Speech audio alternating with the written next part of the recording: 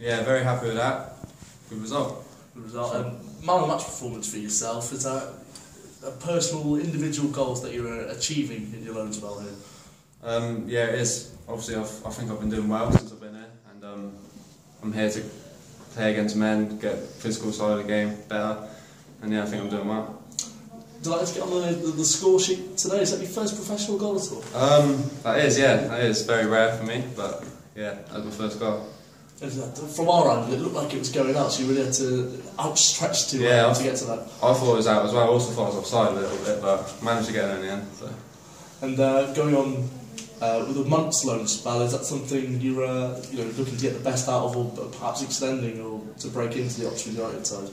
Um, at the moment, I'm looking to extend the loan because um, I think that will benefit me and help me to get into the side at Oxford United. So hopefully, I will get extended.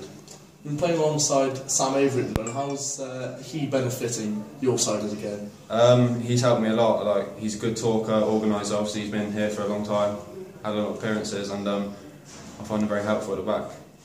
You've come into the side, and all of a sudden it's been five wins. Uh, what five wins from six games. Is that a, a coincidence? Um, I'm not sure to be honest. I'm just here to do my best, and I'm helping the team at the moment, which I'm doing well. So.